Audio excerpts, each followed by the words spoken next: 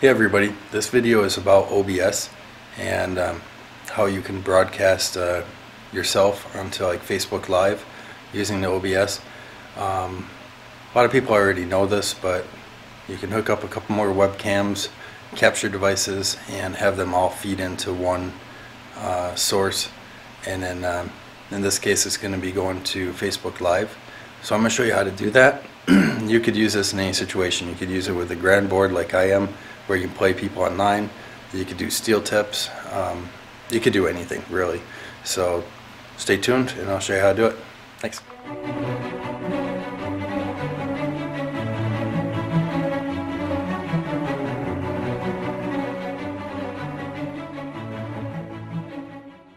Okay everybody, let's get started with the hardware that you need to get this going.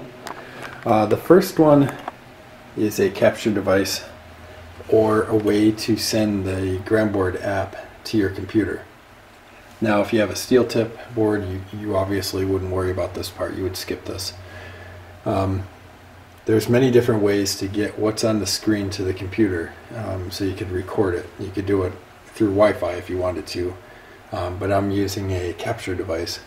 So normally my phone is hooked up with an HDMI cord and comes out of the phone and then usually straight to the TV. So basically the capture device is this and um, people that play Xbox and PlayStation they use this to record what's on their screen and then upload it to YouTube or even do Facebook Live. So this guy right here, the HDMI comes out of the dongle into here and then back up to the TV and then the USB to the to the computer. Very simple. You just plug it in and install the software. And then um, I'll show you on the software side it, it just picks it up. So that's one thing okay? So obviously this part's optional. You wouldn't have to do this if you didn't want to. The other part which would you wouldn't want to do is a camera. And I had a camera sitting on a tripod aiming at the board here. Let me back up a little bit. And it was getting in the way. So I mounted the uh, camera on this uh, stick basically. Made this little bracket just screwed it into the woodwork which I can patch that up very easily. So that is right there that's a Logitech C920 which is just zip tied up there. So I, it's above my head so I don't have to worry about hitting it. Okay and then I have another Logitech C920 Nice thing about the 920s is they have a mounting bracket on the bottom so you can put them on a tripod. So this was a tripod I had aiming at the uh, at the board. Okay, and then obviously that all plugs in to a computer. Okay, so down here I have a hub for the camera and the capture device. Hub needs power obviously, and then they all go back to the computer. So now let's get into the software and I'll show you what you got to do on the software which is very very easy. Okay guys, I'm going to show you how to set up this layout um, so you can uh, do live videos if you want. Um, it's very easy. When you first open up the OBS software, it's free and you're going to have a blank canvas like this. Okay? So the first thing you have to do is you have to add all your sources. Okay, so I'll show you the first one from scratch. So I click to add, call it what you want. We're going to say app, so it's going to be coming from the capture card. Automatically picks up our um, integrated webcam, so we're just going to switch it. And here's all my input devices. So capture device, and we'll just give that a second because it's now connecting to that. And I notice uh, since I already have these uh, devices added in a different profile, it gives me a hard time. So I'm only going to do one to speed things up. Custom for the size. I'm going to switch that to, I don't say 1080. And then um, buffering, I'm going to leave for auto detect. Frame rate, I just match the 30 on this one. There we go. Then what we do is we just shrink it. So you just click on the red outline, shrink it down. There you go. So there's one. Now, if you ever need to edit the size of it or anything on it, you would just double click on the, the app down there, the name of it, and then it brings you right back into the settings so you could maybe change the buffering if you want. So now we're going to do add capture device and we're going to do one we already have built in. So we're going to do dartboard. There's my dartboard. Now obviously it's sideways because the camera's sideways. So I'm going to rotate it. So I just right click on the video feed, transform, rotate 90 degrees clockwise. Okay. And see how the uh, it's overlapping the other one. Not a big deal. I'll show you that in a minute. Plus, add video capture device. And then this one's going to be our throw line. Alright, so let's shrink the throw line down.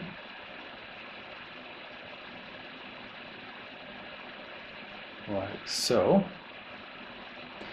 Now, if you reorder them, then you can put them behind and in front and stuff like that. So the dartboard needs to go down.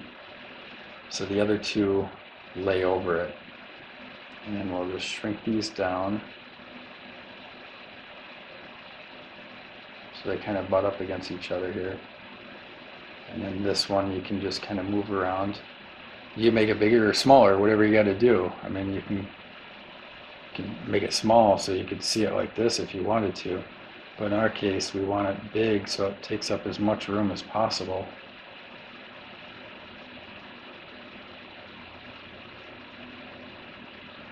Uh, how's that look? That look good? Okay. Now you can add font if you want to add font to it. Um, so we add, and there's text. Click OK. Type in whatever you want. You can select your colors, borders, like an outline. So we got test up there. Oops. And you can put it wherever you want. And you can make it bigger. Okay.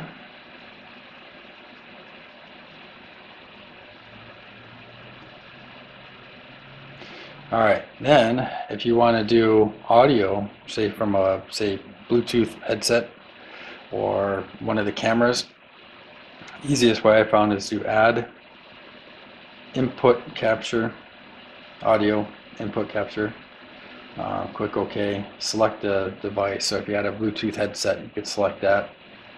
Otherwise, you could do the audio from one of the cameras. But more than likely, you have to go to the camera and talk right into it for them to hear you. And now you have audio. We see it down in our list. There it is. Now, by default, I don't know how it does this, but the game capture card actually picks up audio coming from the phone and go straight in. I don't have to configure anything. The cameras, on the other hand, do not. So I don't get any audio from the cameras unless I do that audio input capture um, as, a, as another source keep on. I just want to highlight it and remove it. There we go.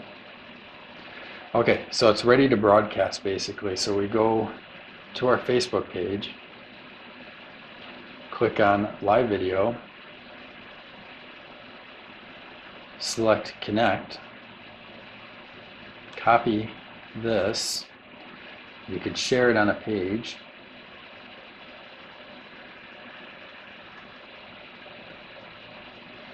I think the key changed actually, so let's make sure copy that.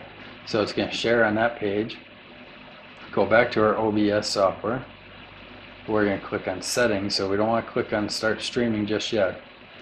General, this is what I got for general. Stream, basically make sure it's just Facebook if you're going to stream Facebook. Add my key in, apply it. My output, ah, you can do whatever you want. 4,000 is, I think, like the default. Okay, you can put a check enforce streaming service. So watch this. So this is the way it is by default. So if I change this, it tells you down here that you have to take a check mark out if you want to do anything above 4,000. Okay, I've done 4,000 plenty of times and it's uh, fine. Okay, so click apply. Here's your audio. I didn't change anything in there. Video, I might have changed it to 1080. I don't know.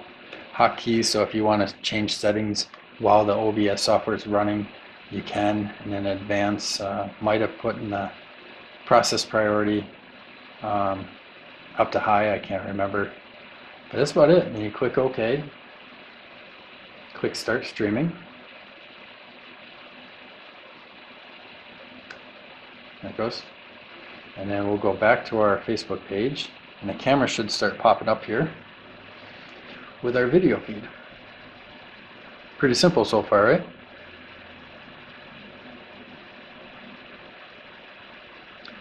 And there it is. There's our video feed. And when we click go live, we're going live.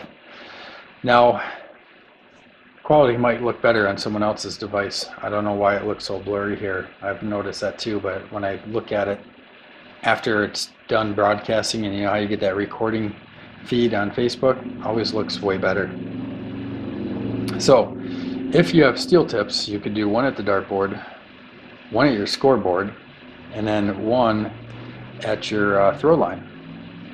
So you could broadcast a, a, match, you know, online with steel tips if you want to, or you can just do two cameras. So you don't even need to import what you see on your um, your phone screen. So if you really wanted to, you could do one at the um, dartboard, but then have it the tablet or the phone screen like in the corner so you can actually see it, um, and then one at the throw line. So you, you can kind of change up whatever you want to do. Um, that's basically how you set it up though. Uh, if you have any questions, uh, hit me up. I'll do my best to, to help you out. Um, I'm no pro at this, that's for sure. I mean, I just started playing with this a few days ago. Um, and you might not need the capture card. You might be able to stream, you know, what's on your tablet straight to the laptop and then, you know, import it into the OBS. I, I don't know there might be other ways of doing it. Um, but this is uh, pretty basic. And that's it. So if you have any questions, like I said, hit me up. I'll, I'll do my best to help you out. Or if you learned something really cool, let me know. Um, or if I'm not using this program right, again, let me know. I mean, that uh, the comments below uh, only helps other people, you know. Um, so I'll just do it for fun. All right, guys, take care. Have a good night.